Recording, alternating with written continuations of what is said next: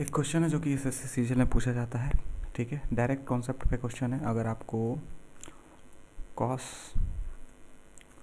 To theta का value पता है क्या क्या होता है formula one minus sine square theta होता है।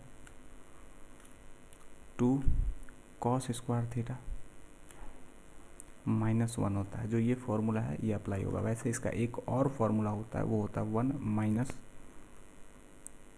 tan square theta यहाँ पे यहाँ नहीं लिखते इधर तो one minus tan square theta one plus tan square theta इससे रिलेटेड और भी फॉर्मूला है रिवीजन के लिए आप देख लो, जैसे कि साइन टू थीटा भी होता है two sine theta cos theta होता है। ठीक है थीटा लगा देना अपने से। साइन थ्री थीटा भी होता है।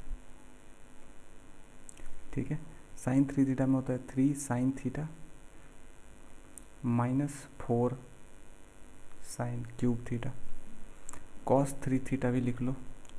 कॉस थ्री थीटा अगर नहीं मालूम, देख लो एक बार। रिवीजन के लिए बहुत ज़रूरी है।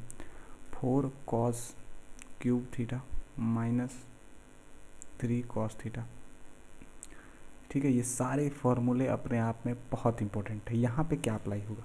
यहाँ पे बस एक फार्मूला होकर आपको ये मालूम रहे तो आप डायरेक्ट कर सकते हो। कॉस टू टू थीटा लगाओगे यहाँ पे थीटा पंद्रह डिग्री क्वेश्चन में दिया हुआ है तो हो जाएगा क्या? Under root three by two ये अलग पेन से ले लेते हैं क्या?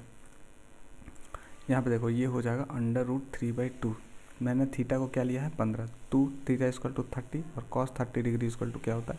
Under root three by two one यहाँ देखो वन माइनस होता है। तो ये जो है आ, ये ये फॉर्मूला लगेगा। तो यहाँ पे प्लस आ जाएगा इधर साइड वन और जो टू ये होगा, ये डिवाइड में चला जाएगा। समझ रहे हो ना मेरी बातों को?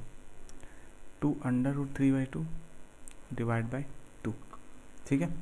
तो यहाँ पे आप कॉस स्क्वायर पंद्रह डिग्री का वैल्यू बोल सकते हो, two plus under root three divide by four अब आपसे सेक स्क्वायर थीटा भी पूछ सकता है तो वो भी आपको ध्यान रखना है, ठीक है? उम्मीद है आप समझ गए होगे ये क्वेश्चन बहुत इजी था, लेकिन आपको कॉन्सेप्ट ये सारे पता होने चाहिए। ऐसा नहीं कि एक सारे कॉन्सेप्ट